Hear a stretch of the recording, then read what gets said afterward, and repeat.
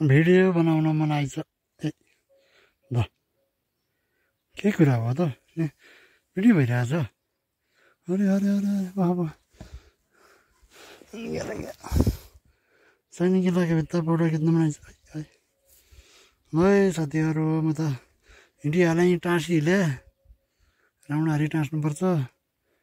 यहाँ वरिपरि त्यो घेरबाट हाल्यो ट्याक्कै गाई गोरुले नटेक्ने गरिन्छ अनि ट्याक्कै यो टाँसी रा राख्यो भने गाई गोरुले यो रौँ पनि झार्दैन।